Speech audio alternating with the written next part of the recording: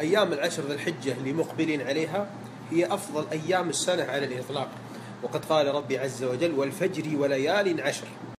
قالت طائفة من السلف والخلف المقصود بليال عشر المقصود بها أيام عشر ذي الحجة. حتى ثبت عنه عليه الصلاة والسلام ما العمل أفضل من أيام عشر ذي الحجة؟ قالوا ولا الجهاد. قال ولا الجهاد إلا رجل خرج يخاطر بنفسه وماله فلم يرجع بشيء. ثبت عنه عليه الصلاة والسلام ما من أيام أعظم عند الله. أعظم عند الله. أعظم الأيام عند الله هذه الأيام عشر ذي الحجة. أحب إليه من العمل فيهن من أيام عشر ذي الحجة فأكثروا فيهن من التهليل والتكبير والتحميد.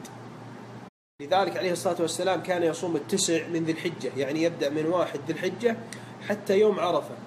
وثبت عن الصحابة رضي الله عنهم والسلف أنهم يقضون أيام رمضان أيام رمضان في عشر ذي الحجة. لعظم فضل هذه الأيام فيجمعون بين الأجرين.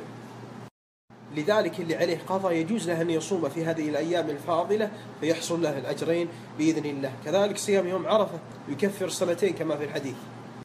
أيام يوم عرفة اليوم التاسع يوم عرفة يكفر سنتين في الحديث أحتسب على الله أن يكفر السنة التي قبله والتي بعده. بيوم واحد.